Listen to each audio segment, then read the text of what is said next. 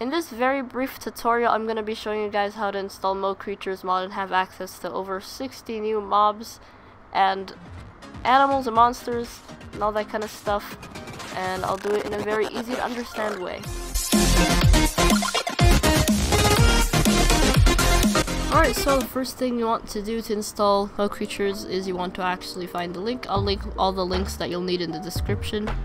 Uh, so this is the website here, Mo Creatures mod, and for this I would recommend the higher version. So for this one it's 1.12.2 and 1.10.2 I'll be using 1.12.2. So what you want to do is you want to scroll to the bottom and find the downloads.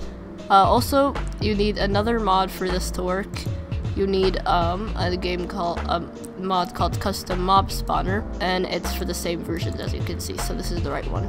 Sorry if I sound sick, by the way. But uh, anyways, let's get started. So with this, uh, we want 1.12.2. I'll download from this one and press download and you can see it's gonna start installing it's gonna say this type of file can harm your computer do you want to keep it anyways you can press keep because a lot of people have reviewed it a lot of people know that it's safe so we should be fine let me just make sure made it to my desktop. Alright, now what you want to do, my custom mob spawner mod, I would uh, go to server 2, like the same as the last one, press download, uh, yep, same button, also press keep, drag that onto your desktop, and there we go, we have the two mods that we need for Mo creatures. Let's, I want to quickly double check to make sure that we have everything. Yep, alright, so now we need to install Minecraft Forge. So Forge, uh, we cannot use Chrome because Chrome will try and block it. Forge is safe by the way, I know. Uh, I just opened it again. I'm going to use Safari because this one won't block it. And you want to type in, I'll put this in the description as well, but files.minecraftforge.net. So now you want to go to 1.12.2 since that's the version that we're installing. And we want to do download recommended installer. Uh, you're gonna have a lot of ads pop up, which might, which you might think you need to press. It won't do anything. You don't need it. In fact, I think this one just wants me to close it.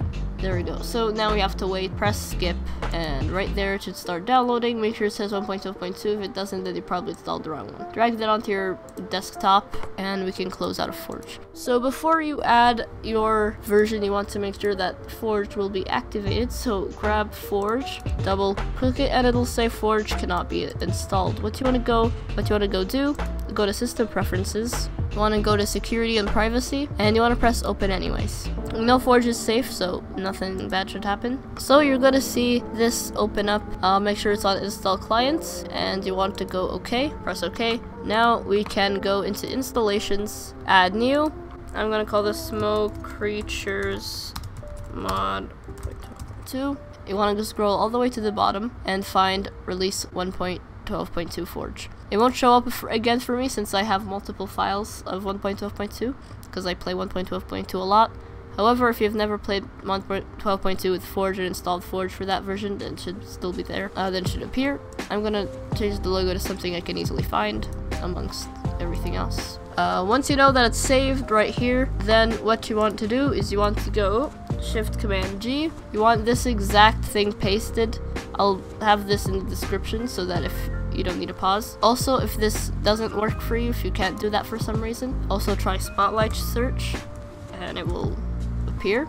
This is the folder for your mods. Once you have Forge, this should appear. Um, I'm assuming that once you like install Forge, then it adds a mods folder. So that's why you can't do one before the other. So, well, that's why you can't do mods before the Forge. Anyways, what you want to do, you want to grab your mods and just throw them there. And you can close this now that they're in. You can go back to Minecraft, select your version, so this is what I'm doing, and you can just press play and just wait for that to load.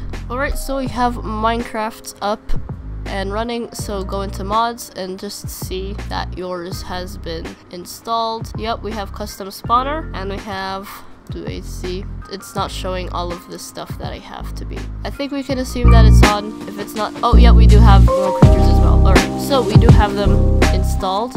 Alright, so I've already entered the world. This is post-editing, by the way. But yeah, this is basically the Mo Creatures mod installed, as well as custom spawner mod, because that's also required. But if you guys found this helpful, giving it a like and potentially subscribing would be uh, very appreciated. If you have more questions before asking in the comments, go check out my how to install mods video because that will have a lot more details on how to install mods. I also want to give a quick thank you to my members, R. Terry, Dull Roblox, Charged Squid, and Tristrix. So thank you so much for becoming members. If you want to become a member, you can just press the join button, although you don't have to, of course. And I'll see you guys in the next video. Goodbye.